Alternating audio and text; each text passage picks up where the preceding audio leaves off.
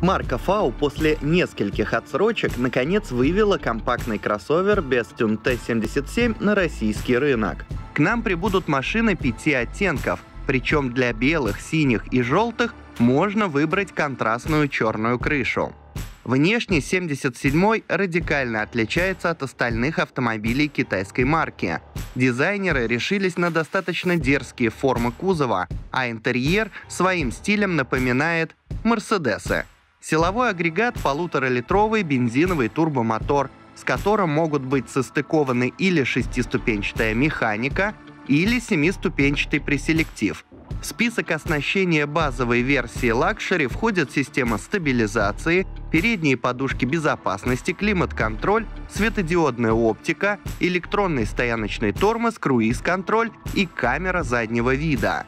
Также FAU готов предложить панорамную крышу, электропривод кресла водителя, 12-дюймовый тачскрин медиасистемы, обивку салона эко-кожей и бесключевой доступ.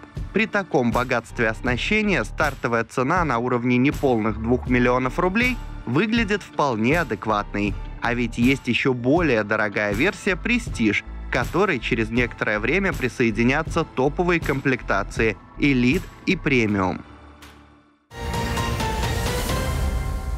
В 2018 году японский Nissan поручил своему китайскому партнеру компании Dongfeng неожиданную задачу – взять пикап Навара актуального образца, для которого сделать упрощенную версию с максимальным использованием недорогих компонентов.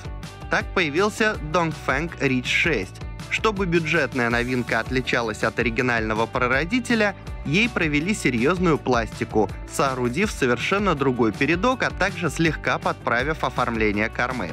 Интерьер китайскому родственнику достался более простой, зато лестничная рама, каркас кузова и шасси остались родными, ниссановскими. При этом Рид 6 оказался сразу на 40% дешевле исходной Навары. Моторы – лицензионные четверки, бензиновая и дизельная. Притом для агрегата на солярке можно заказать шестиступенчатый автомат. Привод жестко подключаемый полный, но также существуют и чисто заднеприводные исполнения. Так вот, сейчас шестой Рич проходит обязательную сертификацию, чтобы через несколько месяцев выйти на российский рынок.